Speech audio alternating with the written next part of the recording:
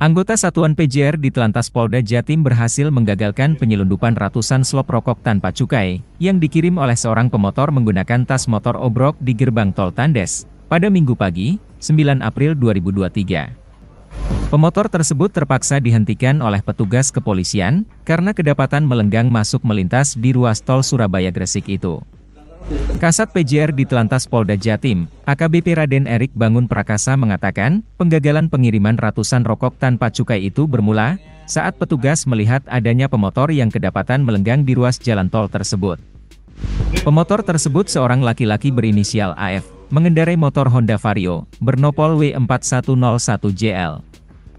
AF berhasil melenggang masuk ke ruas tol tersebut melalui pintu masuk tol di kawasan Dupak Surabaya, dengan tujuan Panceng Gresik.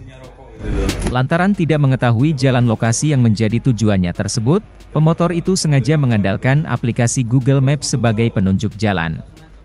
Diduga karena tidak dapat mengoperasikan perangkat penunjuk jalan aplikasi Google Maps tersebut, pemotor itu malah dibuat tersesat hingga tanpa sadar diarahkan melintas di ruas jalan tol. Saat dilakukan pemeriksaan, petugas mendapati adanya muatan mencurigakan dari kedua keranjang yang terpasang di kedua sisi belakang motor. Ternyata isi keranjang tersebut, puluhan slop rokok yang terdiri dari ratusan bungkus rokok tanpa cukai. Erik menambahkan, pihaknya mengenakan sanksi tilang terhadap pemotor tersebut. Sedangkan barang bawaan rokok ilegal tanpa cukai tersebut, diamankan untuk diserahkan kepada pihak Bea Cukai Jatim di Kabupaten Sidoarjo. Sementara itu, pemotor AF mengaku dirinya tak sengaja melenggang masuk ke ruas jalan tol tersebut karena diarahkan Google Maps.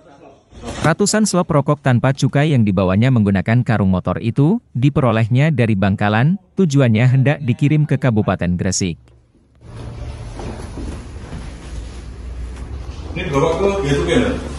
Ia mengaku barang tersebut bukan miliknya pribadi. Dirinya hanya diminta mengantar paket kirim barang tersebut ke suatu tempat di Kabupaten Gresik. Pesanan. Tahu isinya rokok itu tuh. Dapat dari mana rokoknya ini? Bangkalan. Dari Bangkalan. Sama dari Bangkalan berarti. Terus masuk tol. Tak sengaja masuk tol. Naik sepeda. Terus dan Pak polisi. Terus ini dijual pribadi atau cuma nganter? Cuma nganter. Terima kasih sudah nonton. Jangan lupa like, subscribe, dan share ya.